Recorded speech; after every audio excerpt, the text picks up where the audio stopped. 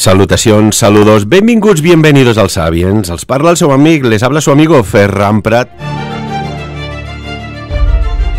No sé si creo que compartimos eh, el pensamiento y el sentimiento, pero ¿nos da la sensación de que nos están robando? ¿O es que hay algo que no entendemos? Cuando hablamos de comprar frutas, hortalizas o incluso, por ejemplo, productos lácteos.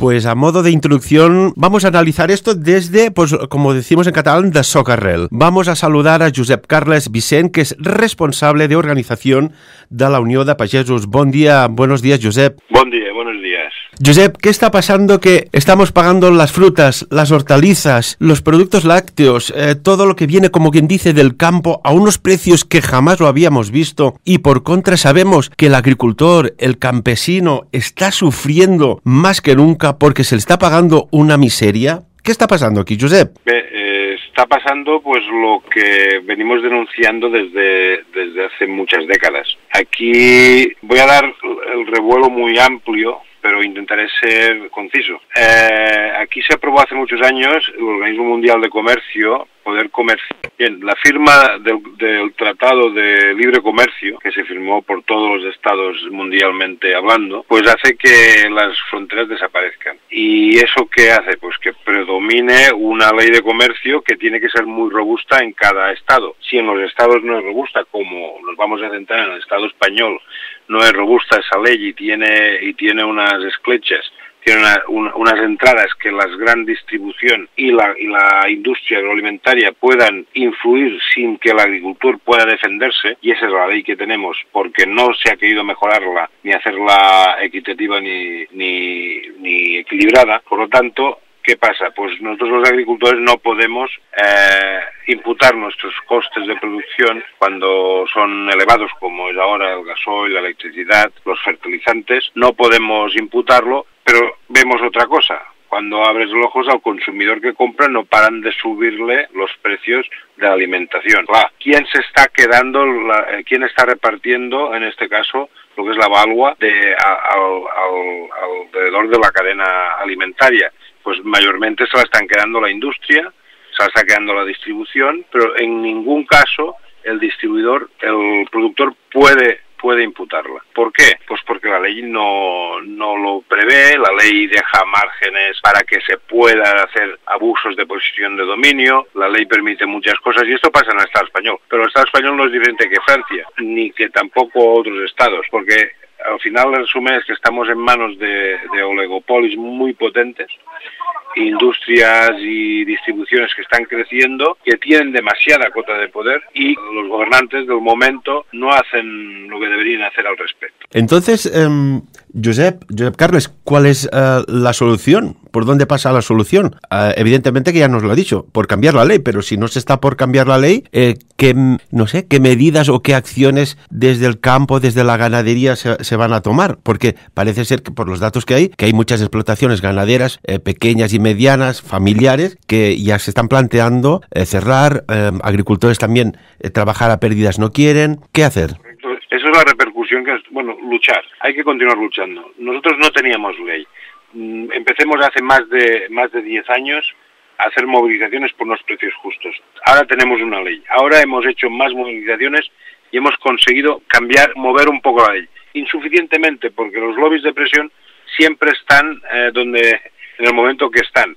Por lo tanto, hay que continuar haciendo presión a los gobernantes para que se modifique la ley. Nosotros ahora, en breve, incluso nos vamos, creemos que vamos a tirar para adelante, pues alguna que otra demanda, alguna denuncia competencia a España, sobre todo en el tema de las leches, como hicimos en los aceites, e intentar abriendo, abriendo brecha aquí y abrir un canal para que el reequilibrio sea lo que la primordialidad de que debe tener una ley. La ley debe ser equilibrada para todos los que participan en la cadena y ahora no lo es. Por lo tanto, hay que ser tenaces y hay que continuar luchando. Y eso es el que, el que no hay que parar. Y a nuestros políticos hay que hacerles campaña, a los que manden y los que están en la oposición. A todos. Es necesario que para que el consumidor tenga unos precios justos, también el productor tenga los precios justos, porque ahora no son justos ni para el productor ni para el consumidor.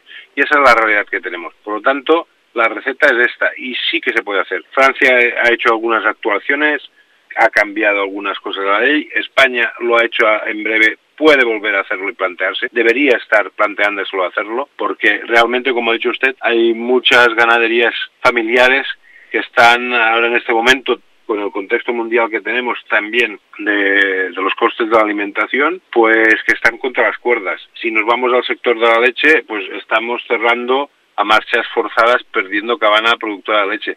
Esto un país no se lo debe permitir, no puede permitírselo. La alimentación es estratégica. Por lo tanto, hay que, hay que reformular y tornar a mirar con lupa lo que es la ley y hacerla equilibrada. Aquí no se trata de que unos ganen y otros pierdan, sino equilibrada. Es curioso que cuando hay elecciones y cuando no hay elecciones, el campo, el medio ambiente, eh, parece pasar de largo. No sé yo hasta qué punto esto puede, puede durar esta, bueno, esta, esta dualidad, ¿no? Eh, y una cuestión, este IPC del mes de junio se ha disparado al nivel más alto desde 1985, Josep. Está al 10,2% debido a las gasolinas y a los alimentos. El tema de carburantes, eh, yo quiero ver, payés, al campesino, claro, necesita maquinaria, necesita eh, carburantes para hacer mover los tractores. Eh, ya no se va con mulas tirando del arado. ¿Cómo se está viviendo esta subida de carburantes? Sí, sí, y, y no solo porque por desgracia del tema del petróleo se derivan los fertilizantes químicos, se derivan los envases, se derivan las cajas, se derivan muchas, muchas, muchas costes que tienen que ver con la producción. Por lo tanto, la energía eléctrica, importantísima. En fin, eh, realmente la situación de costes de producción desbocados es una realidad. Esto no se le ve, no se le ve una tranquilidad durante lo que es eh, podríamos decir todo este año, por lo tanto que ve, veremos a ver cómo, cómo se hace y o cómo se apuntaban estos sectores, porque igual que se apuntala una industria automovilística o una industria de interés para un país, también debe apuntalarse la agricultura como interés estratégico del país.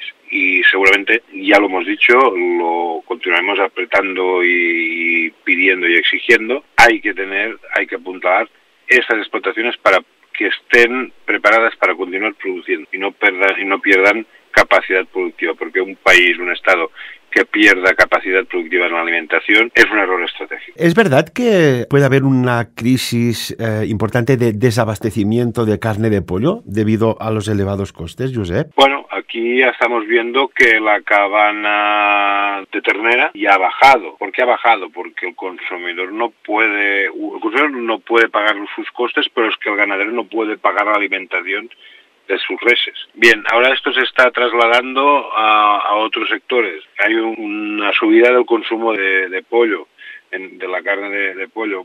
Sí, bueno, de momento es la que está más menos equilibrada, pero podríamos verla que se sube elevadamente. ¿Por qué?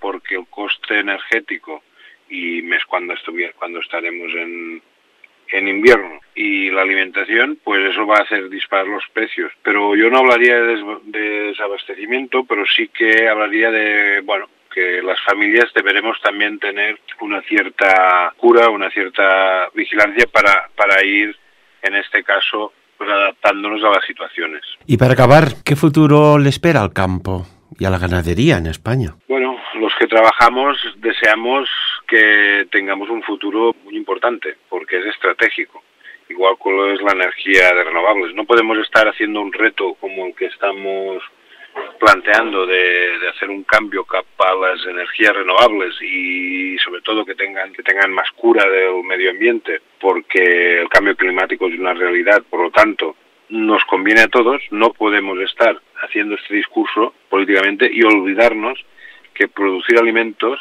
y alimentos producidos eh, saludablemente y con y con, con una cura especial para el medio ambiente es importantísimo por lo tanto también hay que incorporar, incorporar en la política, también hay que incorporar en un Estado como es la energía, también la alimentación como sector estratégico. Y una cuestión rápidamente y para finalizar, Josep, ¿se han planteado algún, en alguna ocasión organizarse para que el propio campesino eh, venda directamente al consumidor final? Sí, tenemos proyectos, hemos iniciado muchos proyectos. Ahora en este momento tenemos uno desde Unión de Pagesos de Cataluña que es Terra Pagesa. Terra Pagesa es un, es un proyecto que simplemente es una logística que ofrecemos al productor sin ámbito de lucre, o sea, lo ofrecemos con los costes y es una logística para que acerque su producto, este caso a Barcelona, que es donde hay más consumidores, pero en un futuro a toda Cataluña. Claro, estos proyectos nos cuesta mucho que el productor los acepte porque está el productor está muy atado de pies y manos al sistema de comercialización que tenemos hoy en día.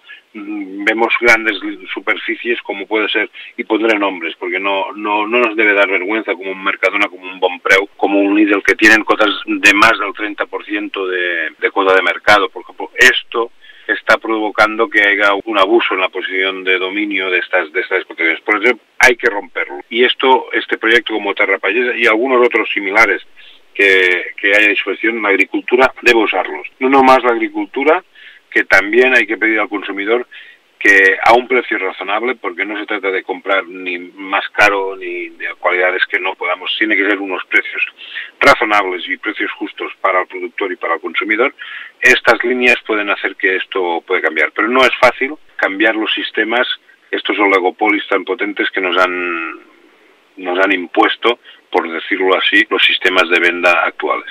Joan Carles Vicent, responsable de organización de Unión de Pagesos. Eh, muchísimas gracias por ponerlos un poco al día y sensibilizarnos más por lo que estáis viviendo, que no debe ser nada agradable. Desearles eh, mucha suerte, mucha fuerza y, y que cambien pronto estas leyes que tanto les perjudican. Pues muchas gracias, muchas gracias, muchas gracias y hasta pronto y a luchar. Muchas gracias. Eh, seguimos aquí en Sapiens, eh, ahora con Luis Rivera, que estaba escuchando atentamente eh, lo, que, lo que estaba explicando Josep Carles Vicent, ¿no? de la Unión de Pagesos. Luis, ¿cómo se te queda el cuerpo cuando lo que creemos que pasa te lo dicen desde, desde adentro, desde, desde el esfuerzo, el sufrimiento, las ganas de mejorar y sobrevivir? A nivel empresarial? Desde... El, cuerpo, bueno, en primer lugar, muy buenos días a todos. Son apoyar, en este caso, a Unión de Payesus y a su portavoz. Y además, el cuerpo no es que se me ha quedado ni mejor ni peor, sino que me ha constatado lo que ya veía, lo que ya estaba viendo, lo que ya... Porque claro, yo soy inquieto y entonces miro, averiguo y ya ves que las leyes, la Unión Europea, los monopolios, en este caso del sector agrario, cómo están jugando a su favor. Esta especulación horrorosa que hay hay esta, esta inflación que, bueno, yo no sé si viene directamente eh, provocada por la Unión Europea o por el gobierno español, ¿no? Pero si nos centramos en el sector agrario en España, que además, cuidado, es un sector estratégico a nivel de la importancia económica, social, territorial de, de nuestra península. Sobre todo tengamos en cuenta que el sector agrario es la primera, el primer sector industrial de España, incluso más que el turismo. Si esto lo hundimos, podemos tener grandes problemas a nivel social. Ya no digo a nivel de alimentación, ya no digo a nivel de trabajo, a nivel social total. Y esto es algo, y además estoy con, con, nuestros países, con nuestros campesinos, porque es algo esencial para la vida del país. Si no hay alimentación, el país se acaba, el, puede explotar todo. Pero es que, por desgracia, tenemos los políticos que tenemos. Lo que no nos podemos permitir es que esta gente que está trabajando, eh, que muchos mm, ya se están negando a trabajar en pérdidas, ya no en beneficios, en pérdidas, no ya un equilibrio, a un punto muerto de su economía, o sea, cubrir gastos, no, no, no, están en pérdidas.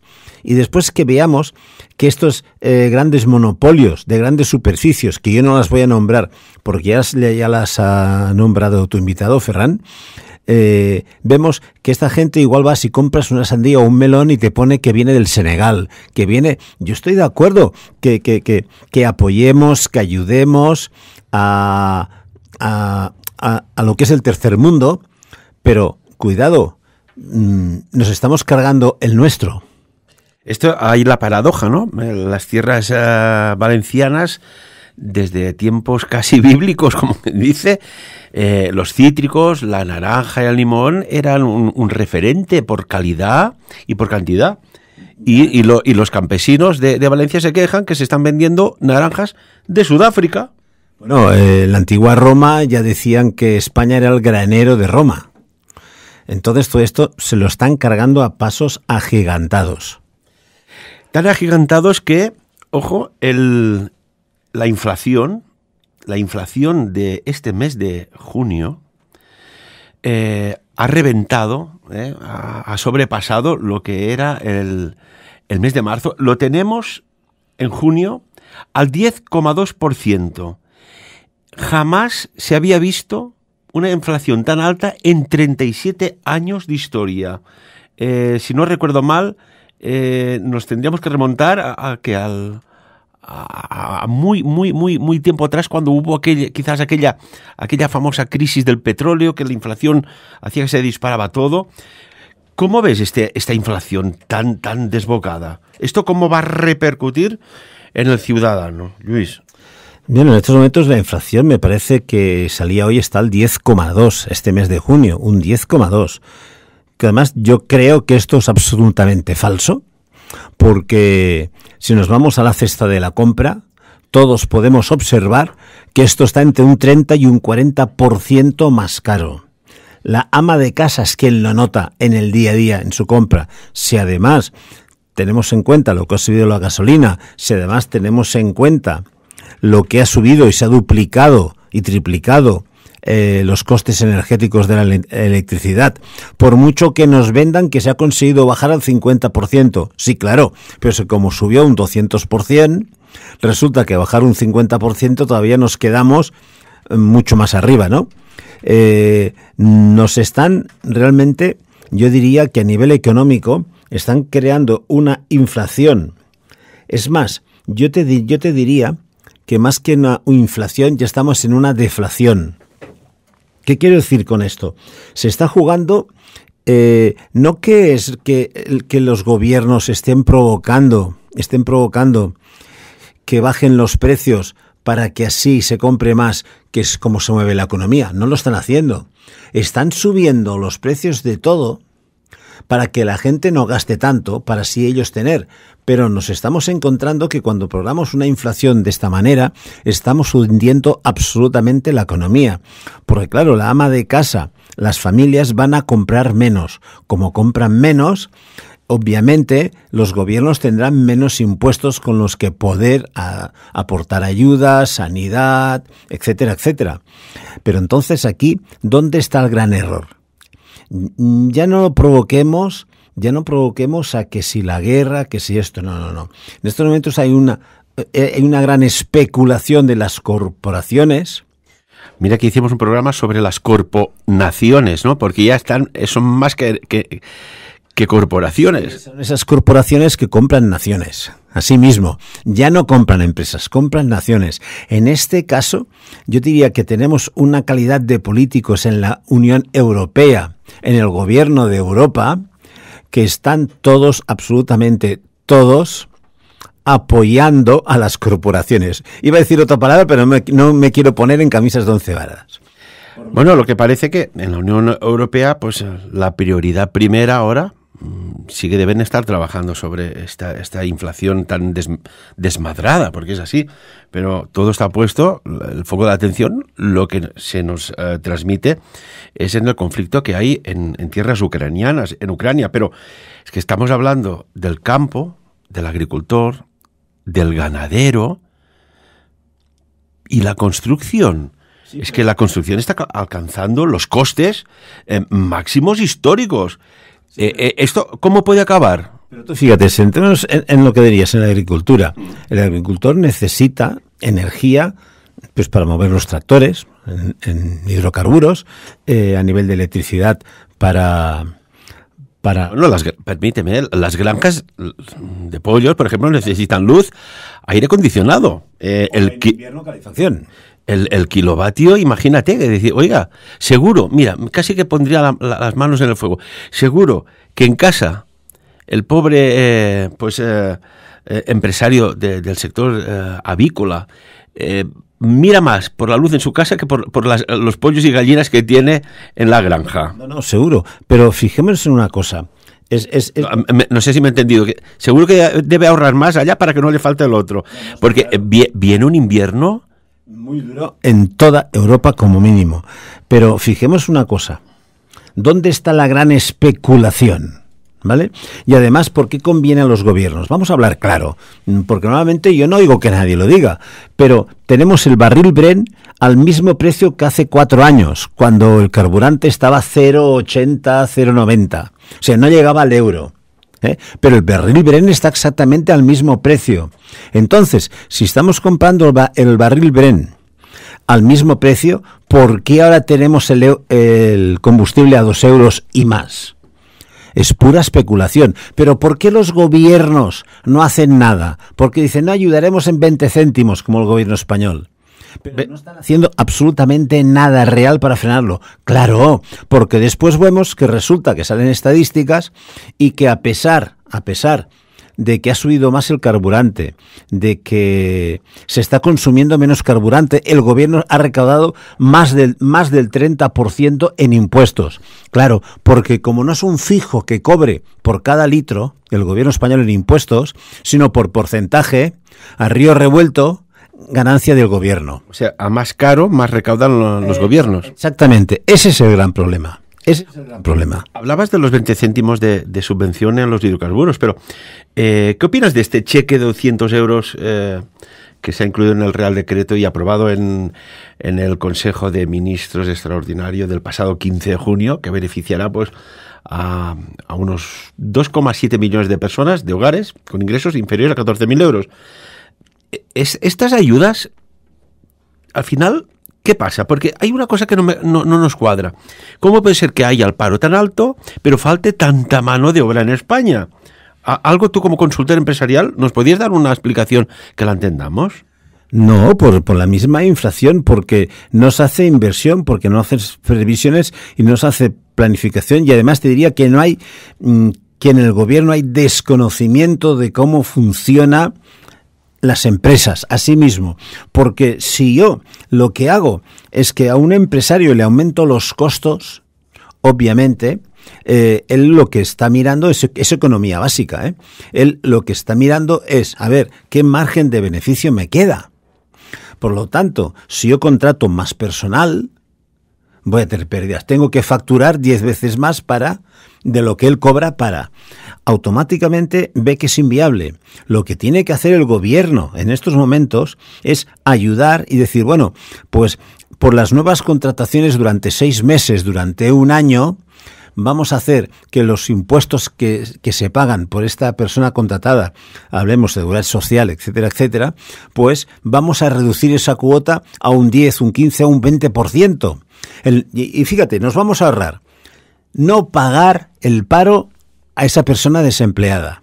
Porque como está trabajando ya no. Pero además de no recaudar nada, vamos a, recaudar un 20% más. No un 100%, un 20%. Pero claro, es que entre pagar y recaudar algo es mucho más, es un 80, un 90 o casi un 100% más.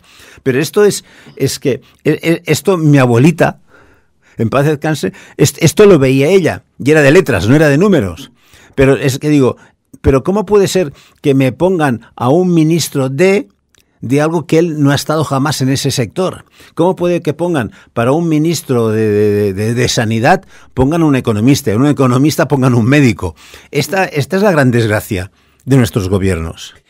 Y para finalizar, eh, Luis, em, decía una persona, dice, bueno, esto de las ayudas está bien, dice, pero ya que se dan ayudas, eh, pues ayudémonos todos. Eh, ¿Se podría con estas personas que están, no sé, en el paro, por ejemplo, pues... Eh, depende de, las edades y las capacidades físicas, evidentemente, pero reforestar los, montes quemados, podría haber, no sé, las calles más limpias, podría haber más ayuda eh, en otros formatos de personas que viven solas, no sé, ¿se, podría reconducir esto o, o esto eh, por ley, como decía, eh, pues no, no puede ser? Mira, yo hace 40, 50 años que oigo estos comentarios del ciudadano de a pie. Ostras, pues los que estén en el paro, que hagan trabajos sociales, no estén en casa rascándose la barriga.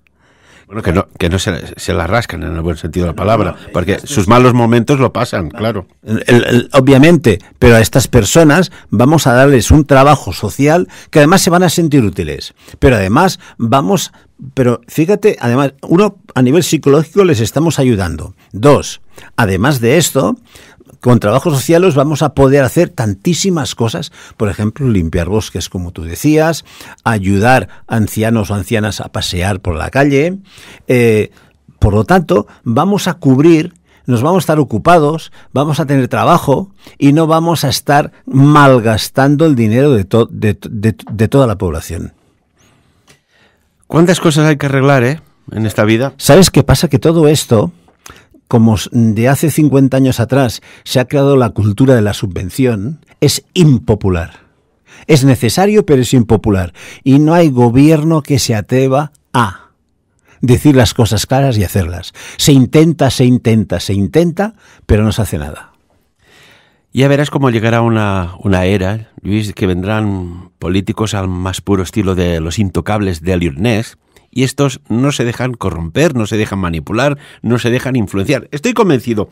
Eh, una cosita, ya que hablamos del precio de los hidrocarburos, que están carísimos, coger el coche, coger eh, lo que sea para desplazarse, es una auténtica ruina. Felicitar a nuestro gobierno del Principat de Andorra por esta iniciativa de que el transporte público se es ya, es ya gratuito para todo el mundo. Esto es una buena iniciativa en momentos de crisis. Esto sí que se valora, al menos yo. Esos son acciones, es lo que decíamos, esos son acciones. Por lo tanto, felicidades. Luis Rivera, como siempre, y también hemos tenido a, a un responsable que, como es Josep Carles Vicent, de la Unión de Pagesos, que nos ha puesto también un poco al día, de cómo está el campo, de cómo están los ciudadanos, de cómo está la economía. Madre mía, cómo está la inflación. Luis, repito, muchas gracias. A ti, hasta pronto. Y amigos y amigas, de lo dicho y aquí, como siempre, que cada uno saque sus propias conclusiones.